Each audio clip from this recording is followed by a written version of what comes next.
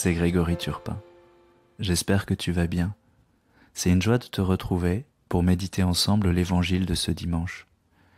Si tu as une Bible, je t'invite à l'ouvrir et à découvrir le texte de l'évangile de Jean au chapitre 2, versets 1 à 11. Il s'agit du tout début du ministère de Jésus.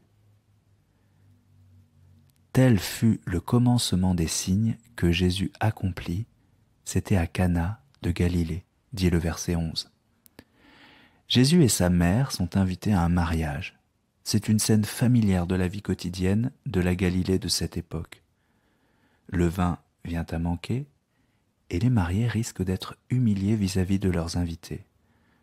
En accomplissant son premier miracle, Jésus manifeste son attention pour les petits problèmes que nous avons dans nos vies.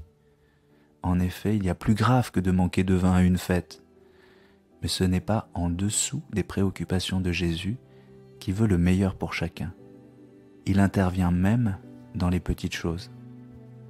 J'aimerais attirer votre attention sur le rôle de Marie, la mère de Jésus.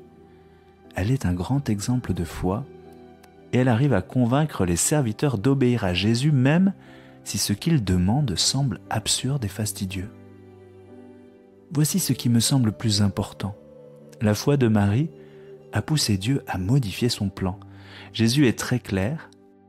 Il lui dit sans ménagement, Femme, que me veux-tu? Mon heure n'est pas encore venue.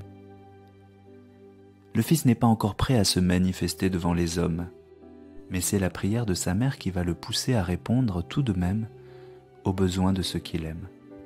Dieu a modifié son plan pour répondre à la prière de Marie, qui a foi en lui. Mes amis, la prière fonctionne.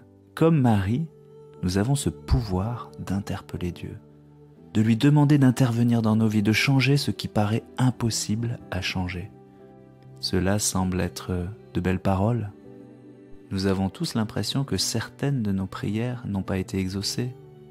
Moi, je peux témoigner que le Seigneur exauce toujours, mais rarement comme on l'attend. Il est déjà intervenu de manière miraculeuse dans ma vie quand j'ai crié vers lui. Mais la plupart du temps, il m'apporte ce dont j'ai besoin sans que j'en ai d'abord conscience. Si l'on regarde Marie, on voit qu'elle a une relation avec Jésus la plus proche qui soit, puisqu'elle est sa mère. Elle a foi et confiance en lui. C'est cette relation régulière avec le Christ et cette confiance en lui que nous devrions vivre nous aussi au quotidien. Seigneur, donne-moi de te faire confiance dans tous les aspects de ma vie, petits et grands, je veux grandir dans mon intimité avec toi et avoir foi que ma prière touche ton cœur. Je te bénis, je te remercie. Merci pour ton attention. N'hésite pas à commenter ou à déposer une intention de prière. Je te souhaite une excellente journée.